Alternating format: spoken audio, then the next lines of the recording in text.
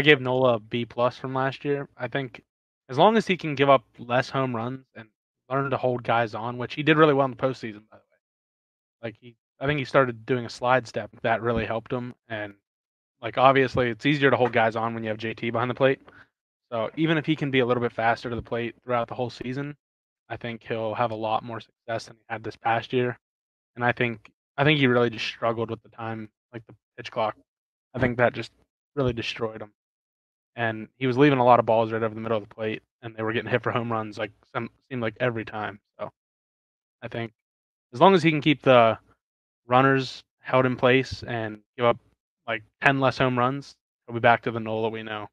I think he has a lot more, a lot more than what he showed us last year. Now I'm with you. And next year's an even year, so hopefully he's he's going to be back to his usual even year self, right? That's yep. kind of what I'm hoping for. But look, he's going to turn 31 next season. We obviously just signed him to a big extension to pretty much make him a Philly for life.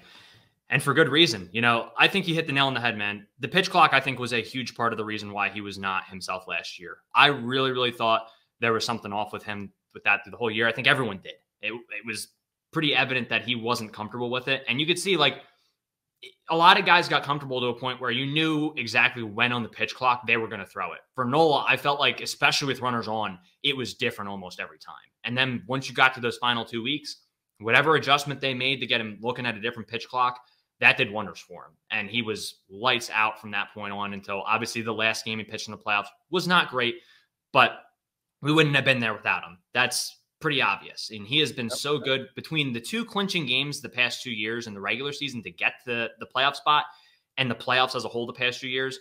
He has had maybe two to three bad starts in that whole 10, 11 game span. He's been tremendous. And even if he doesn't have a, like a great bounce back season next year, and let's say he's just under a four ERA, I don't care because I know what he can do in the playoffs and I know he's going to lock in with that crowd behind him. And I know he can also go on the road without any fear. And he's going to give us a pretty darn good start against any opponent we go up against. So he just has that big game ability.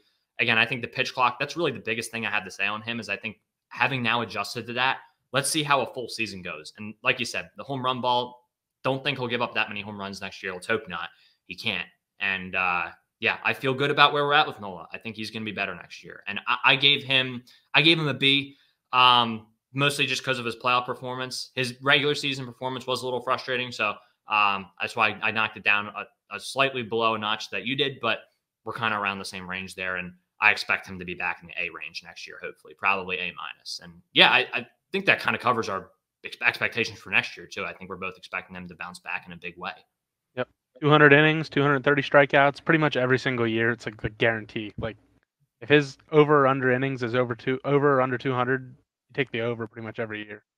Like it's almost guaranteed. He never gets hurt. He posts every five days. He's the most reliable or second most reliable behind Gerrit Cole in the entire league.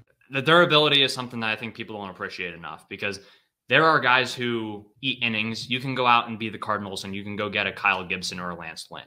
But then there are guys like Aaron Nola who effectively eat innings and actually can yeah. turn in big performances for you. Big difference between those two. And I really think we're going to get that Aaron Nola next year um, that we didn't really see this past year. But again, even this past year, like you said, he threw over 200 innings. Uh, I think he did. Um, I mean, I, I think would, it was like if it was not 200, it was like 190 something. Exactly. He's right around there. So Nola, Nola again, it's just it's so valuable having a guy like that who we know is going to go deep into games. And that's another thing is even if you struggle early in the game, to have that mental awareness and mental ability to be like, all right, you know what? I gave up four runs, I gave up five runs, but my team needs me we need to get through 162 and we need to get through today.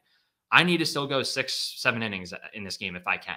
Um, and just to lock in there and your offense gives you some run support, there, there's not too many guys who can do that either. So credit to him. I don't really have much else to say on him. I thought Nola uh, was unbelievable in those first couple playoff starts. And even in the last one, it didn't really matter because he didn't get the run support in that game. The offense was not scoring in game six of the NLCS for whatever the reason. I don't know. But that wasn't going to matter.